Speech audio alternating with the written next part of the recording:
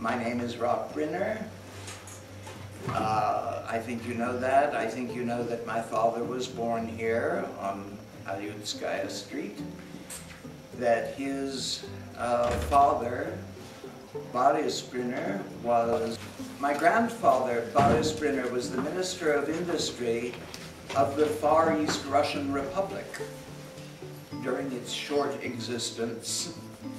And in fact, my father was born in Vladivostok, but he was not born in Russia or in the Soviet Union. He was born in the Far East Russian Republic. He was born in 1920. Uh, I first came here exactly 10 years ago. I received an invitation from now my Russian brother, uh, Sasha Doluda, who was creating, helping to create the first film festival. And so I was sitting on a hill, my hilltop in the country in New York. I don't live in cities. And uh, uh, I got this email that says, he sent me an email inviting me to the film festival to present the first Yul Brynner Award in the city where he was born. And the email ended with the words, uh, your name Rock in Russian means destiny, and it's your destiny to come to Vladivostok. And here it is 10 years later, and I've been here 15 times, uh, taking the very long trip to get here. Uh, and there's no question I love this city more than any other city. As I said, I don't like cities, but I deeply love Vladivostok, and it has become very much my second home. I grew up mostly in New York City, but then my father was doing the play called The King and I, which he later made the film of and won his Oscar for that film. That's why the statue is not of Yul in Velikolepnaya Semyorka, but rather from The King and I and uh, he played that role on stage for a total of 14 years of his life. Four years uh, in the 1950s, and then the last 10 years of his life, doing eight performances a week. So that, the statue had to be of the King and I. Uh, I grew up touring with The King and I, with the play. We toured America. We lived on a train.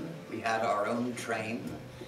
Uh, and so I got to see America. And then when I was about 10 years old, we moved to Switzerland, which is where my great-grandfather was from.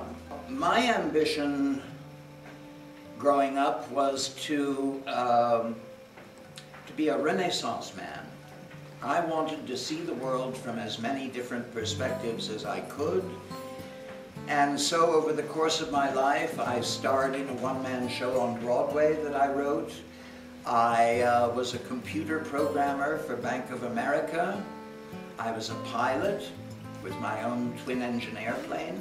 I was a very cool guy at that point. Uh, I was I was road manager for Bob Dylan and the band.